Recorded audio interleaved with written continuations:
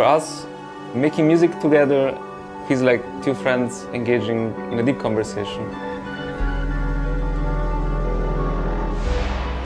This is a conversation that happens between two different languages because our musical backgrounds are quite different.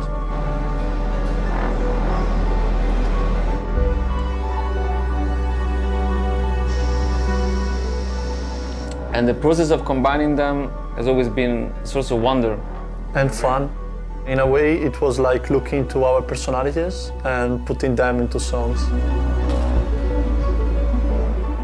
The distance that separates the two cities where we now live, about 500 kilometers apart, has enhanced this experience, becoming an opportunity for us to improve the way in which we work together.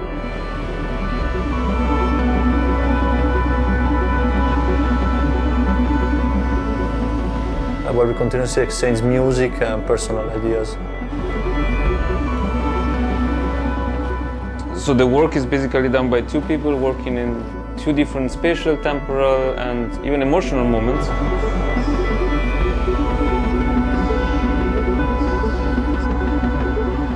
This exchange of music and personal ideas becomes sort of looking into each other moment.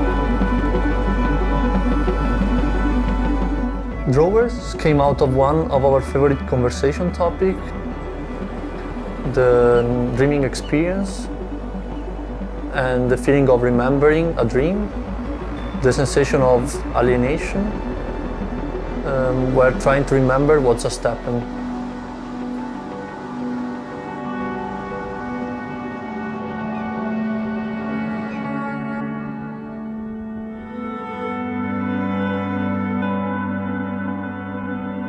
The album is an effort to translate five dreams into songs and also the feeling of trying to remember them.